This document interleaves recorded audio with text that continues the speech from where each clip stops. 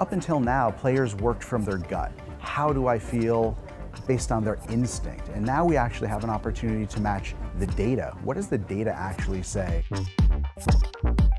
Overhead cameras track basketball players and baseball relies on advanced metrics. So will data take over tennis next?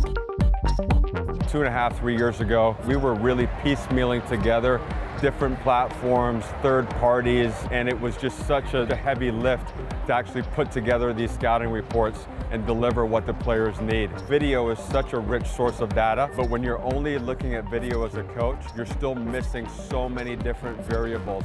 So artificial intelligence really helps take the coaches out of the video room onto the court with new perspective and tools that they can really offer to their players. So the coaches are going to be able to look at the individual impact of the movements within a game. So how much energy is spent within a game for each player, but then they're actually also able to look at the cumulative impact of those individual insights. How fast are those players running? How quickly are they stopping? And what's the physiological load on each player? I think it's really reassuring when your coach can validate what they're telling you and what they have been telling you and what you've been working on in practice and say, hey, listen, you know, you executed here just the way we worked on, and let's look at some basic KPI so that you can see how that increases your chances of winning.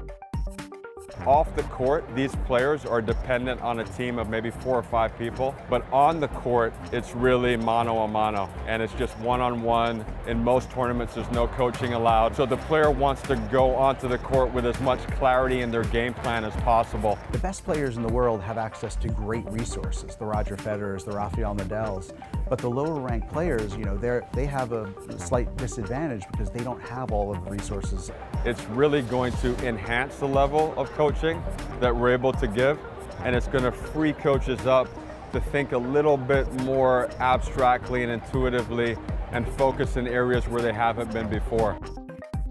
I think the fans will start to realize more and more um, how complex the sport is. You know, you watch it, you see how physical the game is, but when you can quantify a little bit and make that story richer for the fans, I think that's huge. I really feel like in three or four years, some form of on-court coaching is going to be part of professional tennis. And so I think this technology is coming just in time to be able to enhance what we're able to share with our fans.